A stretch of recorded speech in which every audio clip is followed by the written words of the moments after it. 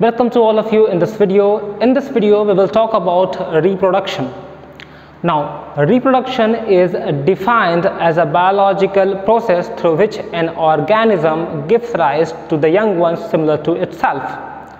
On the basis of mode, the reproduction has been divided in three major categories, which are asexual reproduction, vegetative reproduction, and sexual reproduction.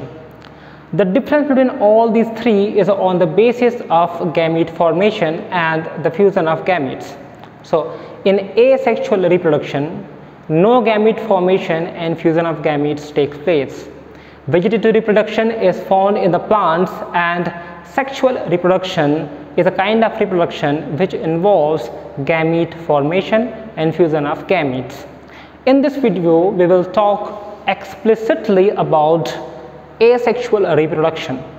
So let's define it. What is asexual reproduction?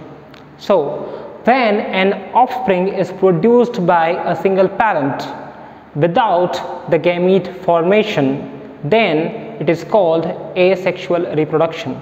Now, while talking about asexual reproduction, we have to keep some points in our mind.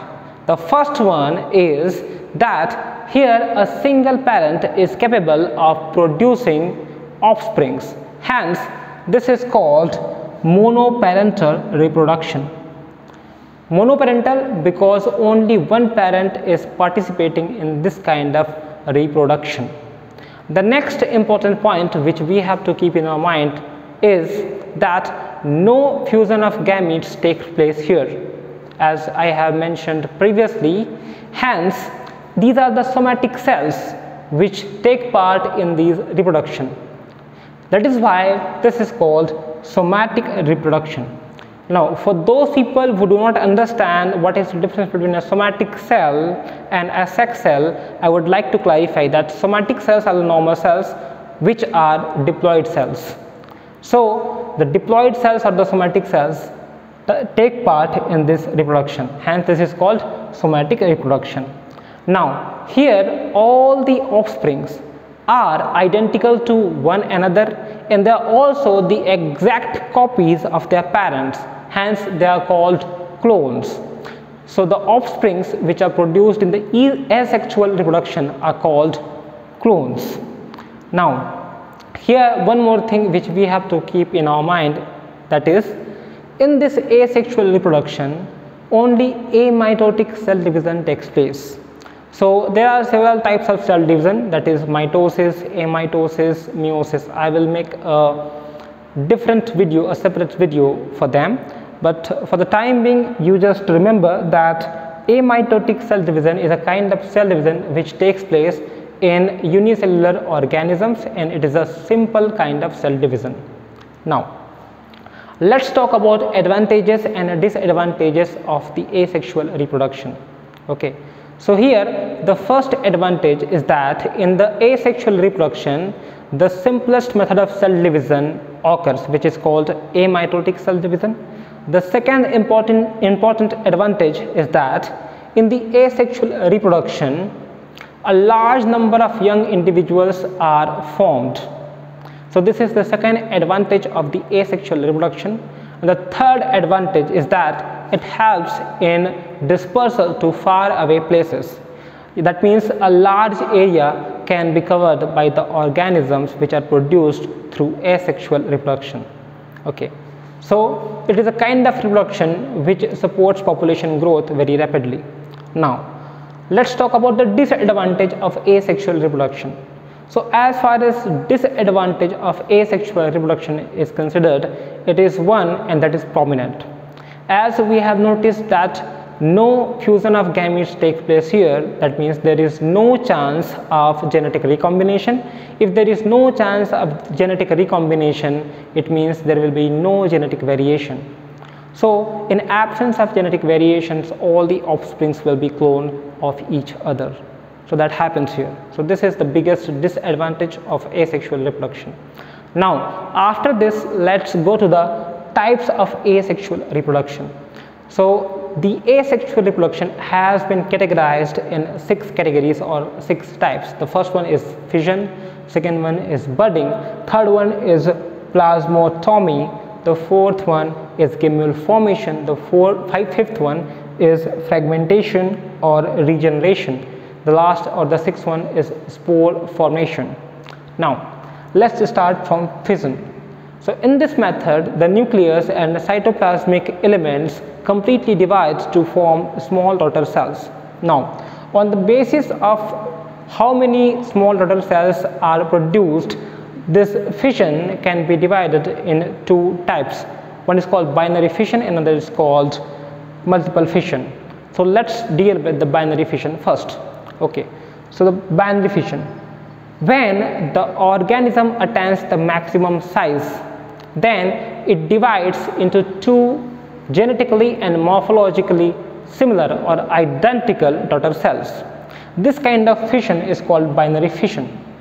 Now while we are talking about binary fission when we study about this we have to keep again some points in consideration.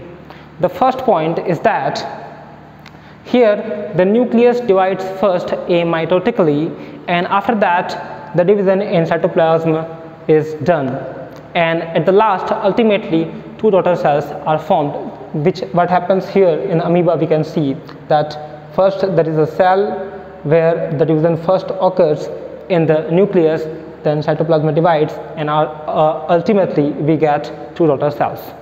Now the second important point which we have to keep in our mind about binary fission is that it always takes place in a favorable conditions okay. Now when i talk about favorable conditions what are those favorable conditions?